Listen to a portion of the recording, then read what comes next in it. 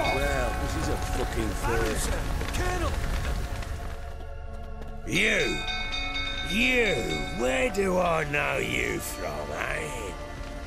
Ah, right! The Witcher! Come, drink with me! Pale as a ghost you are. I know your wife miscarried. Was that before or after you beat her to a pulp? What the fuck are you suggesting? Don't play me for a fool. You'd been beating them for years. Finally, they'd had enough and fled. Sound about right? Ah! Come on, come closer. They ran from you, didn't they? Lying prick!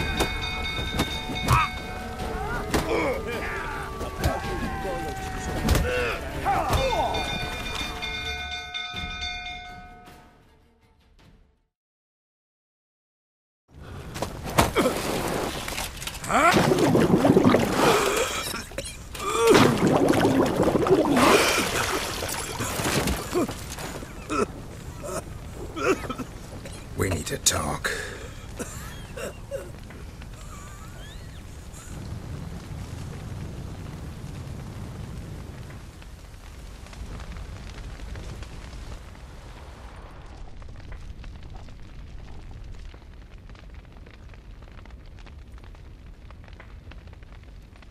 Sit down. You beat them. I never laid a finger on Tamara. Not once. And on Anna. That's another story. She always knew how to spark my ire.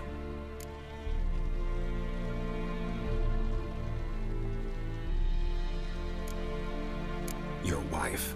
How'd she make you angry? Too much salt in the soup? Socks never darned? Twenty years we've known each other. She's seen me drunk and sober. She was there to greet me when I returned the victor. She was there to patch me up in defeat.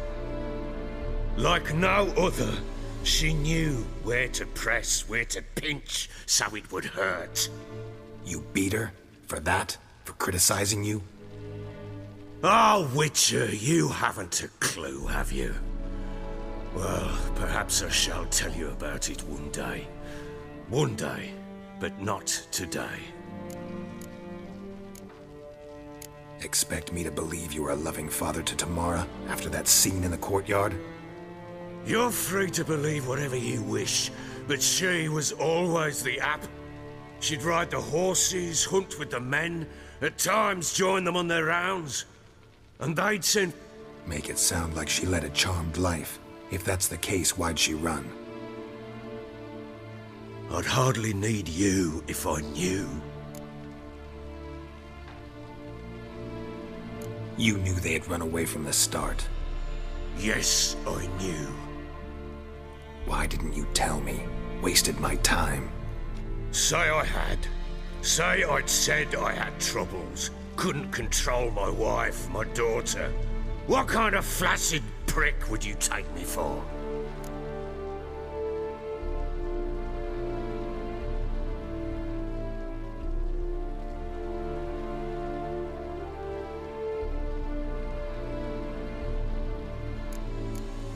Doesn't much matter now. I know how to find them. How? I know about the baby.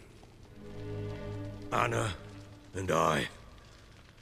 It wasn't as it seemed. Seems.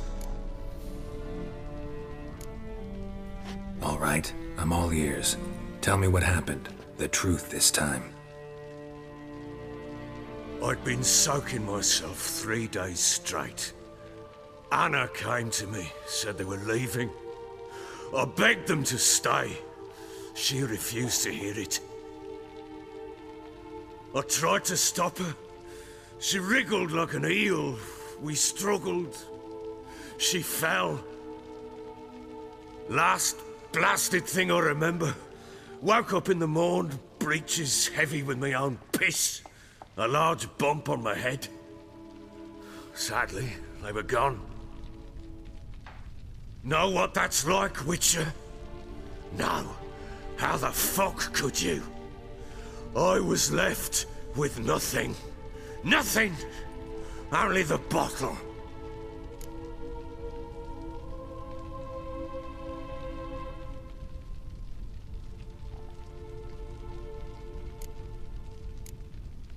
Tamara present for all this? She see you quarrel?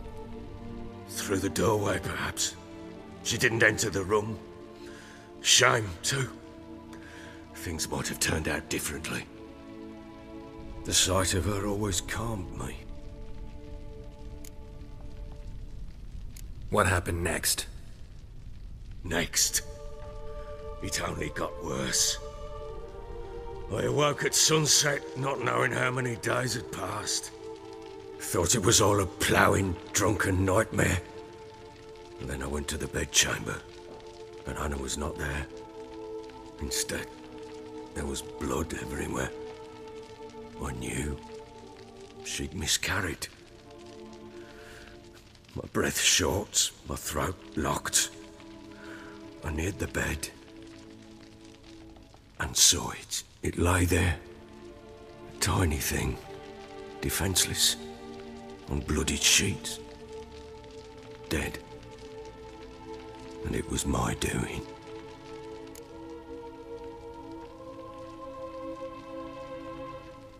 Maybe your doing, maybe not. But that amulet she wore could be important. Or maybe the fact that she lost it. What did you do with the child? What was I to do? Took it out and buried it. Just like that? Damn you! I gave no thought to a funeral. It was a horror. I wanted it to end.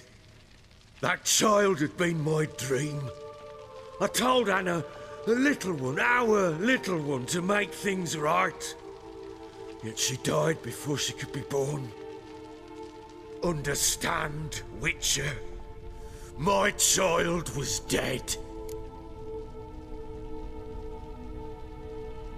Get hold of yourself. Men like you, when they break down, look downright pathetic.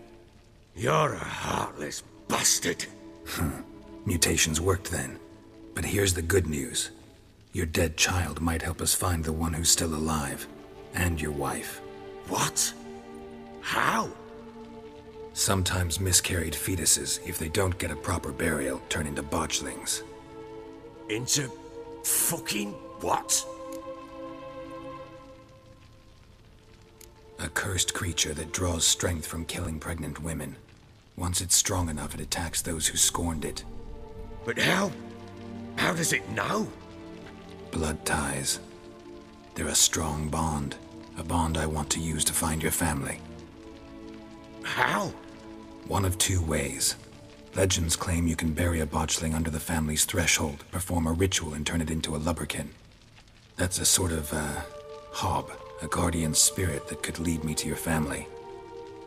And the other way? We kill it and draw some blood. Take that to the Peller and he does the rest. Do not kill my child. It's suffered enough already. Lift the curse that it may finally rest in peace. Still not sure what to do. Whatever you decide, we must put an end to my child's suffering. Whatever we do, we gotta find the botchling first. I'll show you where I buried her, and I'll dig the grave at my threshold. If it turns out we can't transform the botchling into a lubberkin, they can bury us in it. Handy either way. The sooner we resolve this, the better. Best do it tonight, at midnight. Then wait here with me. Near midnight, I'll take you to where I buried her. Get word to the common folk. Ought to stay in their homes tonight and draw a line of salt outside their doors. And try to sober up. Do I take a shovel to dig up the grave? Take it. You'll need it, but not for that.